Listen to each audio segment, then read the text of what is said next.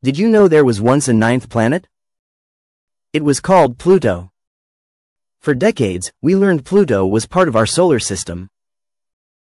But in 2006, everything changed. Scientists decided to kick Pluto out.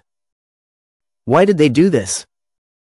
With better telescopes, we found more objects like Pluto.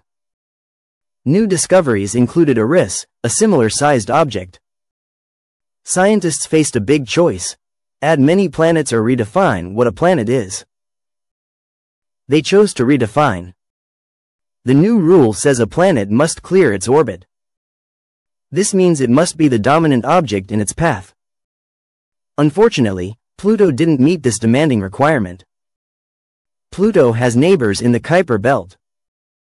So, it was reclassified as a dwarf planet, this decision sparked debates among scientists. Many believe the new rules are unfair to Pluto. Despite the controversy, Pluto fascinates us. It has icy mountains, a thin blue atmosphere, and a giant heart-shaped glacier. Pluto may not be a planet, but it's still captivating.